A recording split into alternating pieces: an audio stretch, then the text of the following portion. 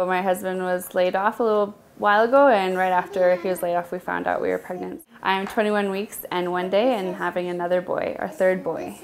So we got the ultrasound on a Wednesday. We were in the Foothills Clinic, our EFW radiology. Um, and so we were just going through all the pictures, checking all the bones and and toes and fingers and then the tech caught this uh, with the more detailed ultrasound and she zoomed in right away and she took a picture really quickly and it's a picture of the baby putting its thumbs up. We just were really happy.